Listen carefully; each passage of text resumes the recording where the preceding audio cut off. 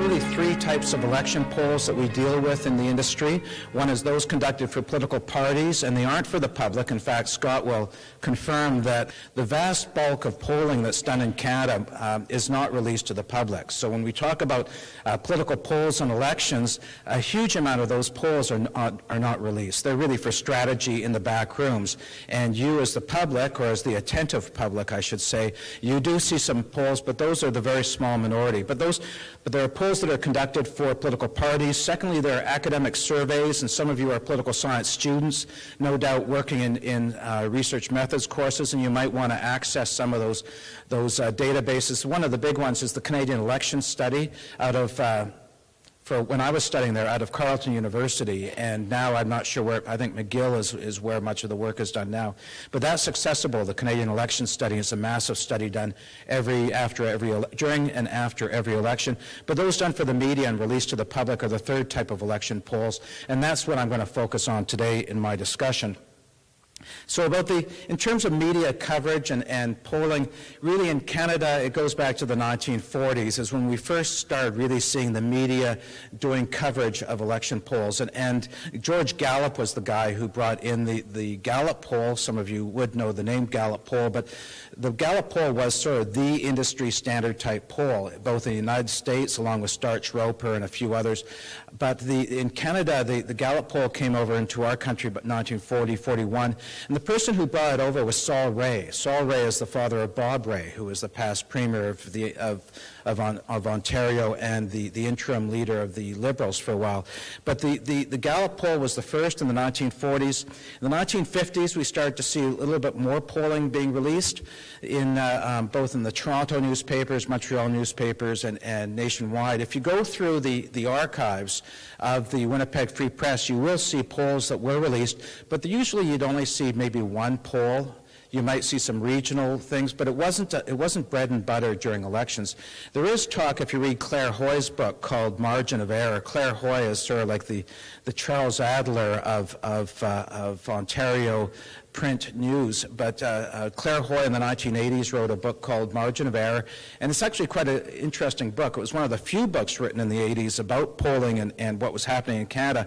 But he claims that the 1957, the polls misled Canadians into thinking that the, that the, the, the long-standing Liberals, the long-governing Liberals, were going to win the election when in fact Claire Hoy's got the story wrong. If you go through the newspaper archives, the coverage of that period, in fact, Maclean's didn't do any polling.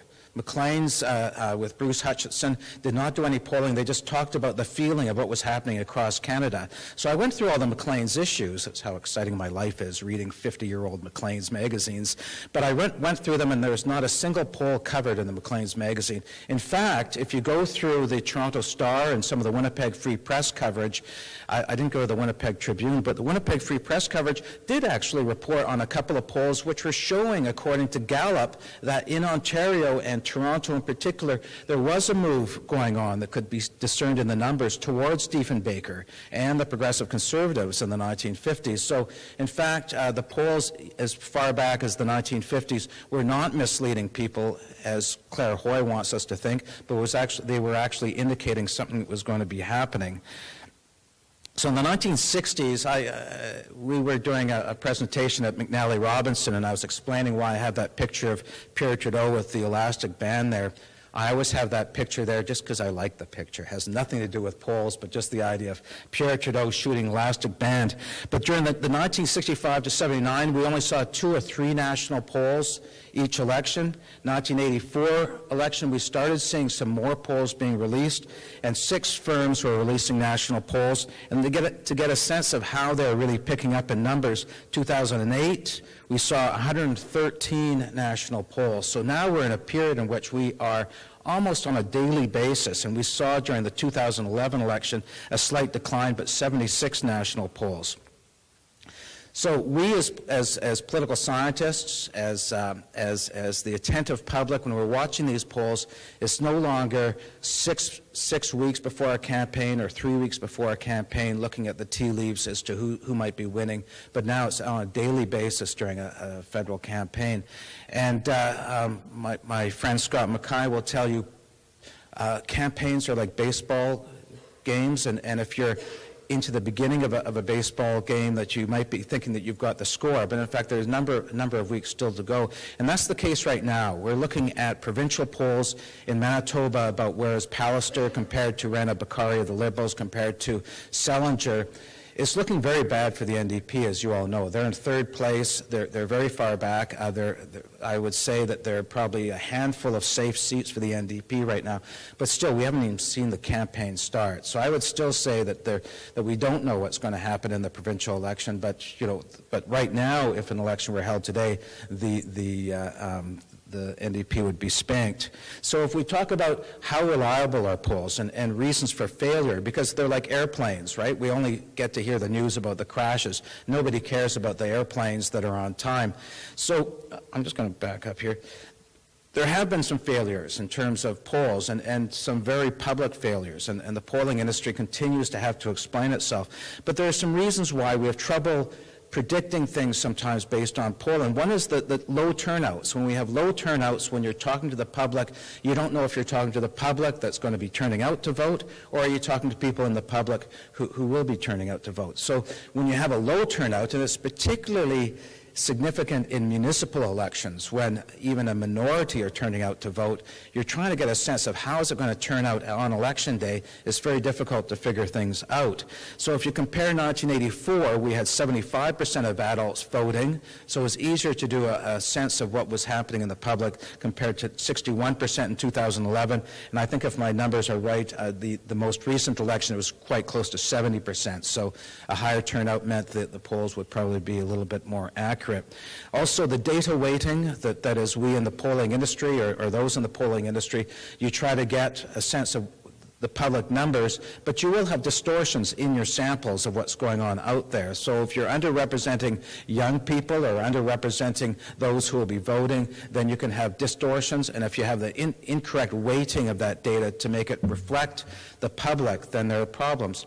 One of the, one of the things that happened in British Columbia when the pollsters inaccurately called Adrian Dix's NDP to win is sort of an opposite thing. Is one of the one of the things Eric Grenier was commenting on with the CBC was was the weighting was so good in terms of getting the, the numbers right on, on what the, the sample was reflecting the, the population. It was so good that it was overrepresenting the young people, that young people were not turning out to vote. So it's one thing to have a representative sample, it's another thing to have a representative sample of those who are going to be voting.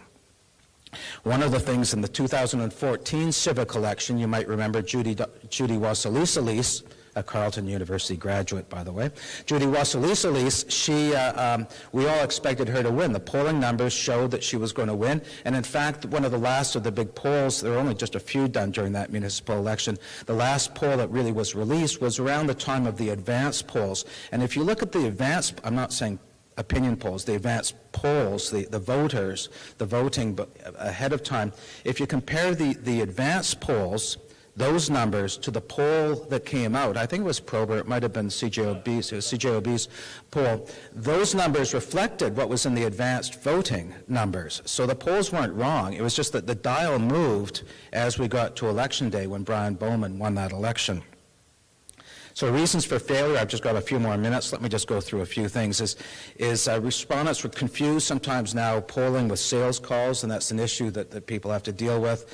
Uh, you all know that when you answer the phone and you get that pause, not all pollsters use the auto dialer, but when you get that pause, many people do hang up. Even my kids uh, um, do that on a regular basis, even when they're 12 years old.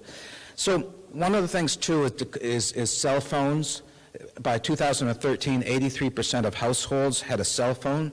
One in five relied exclusively on a cell phone for telephone communications. And in households with those under the age of 35, 60% use cell phones exclusively. So if you're trying to get a sense of certain households of where they're voting, the, the, the, the challenge is using uh, trying to reach people on their cell phones, and I'm sure Scott has, has some perspectives on that. And then some of the new, the new technologies we're seeing in the polling industry, the uh, online polling. Now, when people say, well, how can you have a representative sample with an online poll? We go back to Gallup and Starch and, and Crossley during the 1930s. They didn't do landline telephone polling. They didn't do random calling across the United States to get a sense of where the electorate was in the 1936 federal uh, uh, presidential election. What they did is they went out with quotas and they pulled together specific characteristics of the voting population in the United States and they built what, be, what they called in the Pulse of Democracy by Gallup in the, the 1940 book, they built what was called a mini electorate. So it's not a random sample, but it's a mini electorate which contains all the key components of the big United States electorate. So in many ways, when we talk about online polls, they aren't random polls and they can't be talked about with a margin of error because those sorts of things, for those taking research methods courses, you would know this, that those margins of errors are based on probability. So when you see an online poll, you shouldn't be seeing a margin of error calculation of plus or minus 2% or 3%. But nevertheless, it doesn't mean that they're unreliable. It means that they, they're, they're based, if they're done properly by the, some of the bigger firms, it means they've pulled together a proper electorate, a mini electorate of what the big electorate is about. The other one is inter, inter, uh, interactive voice response. Uh, Main Street poll just did a poll, came out yesterday, which showed Pallister's PCs are pulling ahead of both the, the NDP and the Liberals by even greater margins than other polls. Uh, EKOS is another one that does, does um, IVR, inter, and, and those have to be very short polls. You can't put somebody on one of those things for 10 or 15 minutes like the more traditional telephone polls, but they have been fairly, fairly accurate over the past number of years. And one of the advantages of them is they're less expensive, they can be done very quickly, and you can do a thousand interviews or more in one night. The problem with that is you might not have a properly representative sample. How are we, Richard? Good, three minutes, just in time. Or less. Okay, the 2011 federal election, I'm just going to go quickly over some of the results. Here, this is tracking, this is just from Wikipedia, but it tracks all the polls that were done, each slice along the way. And you can see the numbers shifted during the 2011 election, and you can see the NDP surge under Jack Layton uh, towards the end.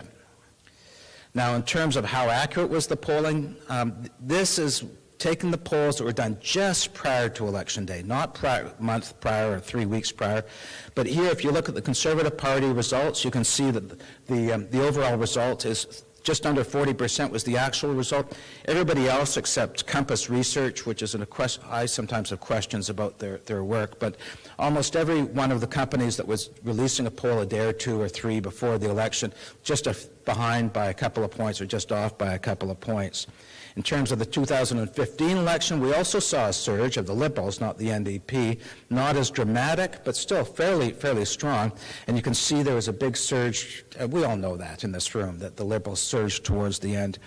But the, you look at how accurate were the polls, uh, the, the polling firms.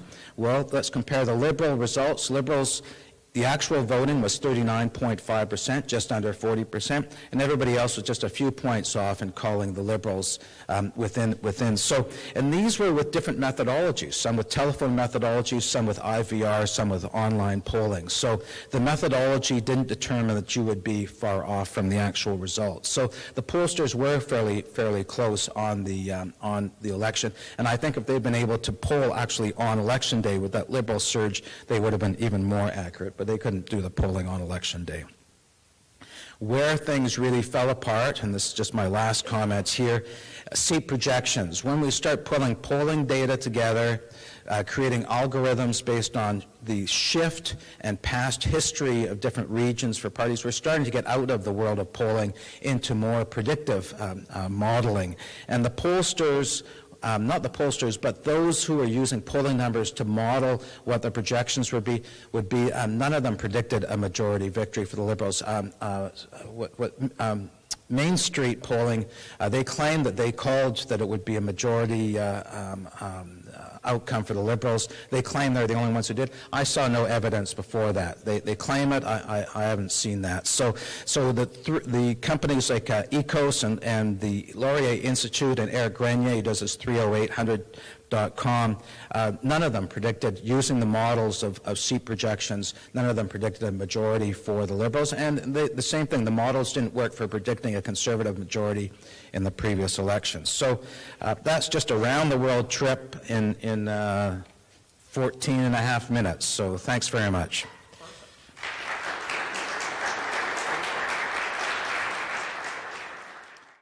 Well, there have been complaints for, for decades about the role of media during elections, uh, the use of polls, and I, I think Mary Agnes is, is right when she says that journalists are, are, are more professional in their treatment of polls. I remember in 1984, uh, results in, in, the brand new Winnipeg Sun at the time uh, showing where Manitoba was at, uh, on a certain provincial poll, and what they had taken was just a tiny slice of a national poll. It was based conclusions based on, on 90 people. You know, one of the things that one term we haven't used here, but which is lurking in the background in our conversation, is strategic voting. And strategic voting is where people make a choice in part because they have knowledge as to what uh, what are the parties that have a chance to form or to win to win a victory. And we do know that when you when a voter knows the, the voting numbers, the, the polling numbers, can make a proper choice. And I think there was strategic voting in the last federal election as people thought which party can throw the conservatives out. Uh, so, so strategic voting, I think, is a critically important thing. I, I do want to riff a little bit on, on John Harvard and your comments. As before he died, he and I had an argument by email as to whether Stephen Fletcher would be able to hold Charleswood. And I said, well, that's crazy, John, that, that uh, everybody knows that Stephen Fletcher is going to hold that, that seat. And so John Harvard had the, the last word with me. I, th I think it's 24 hours now, but the uh, federal regulatory, uh, the you can't do, unlike in the United States, you can't do exit polls in, in, in Canada during a federal election. So there are some constraints.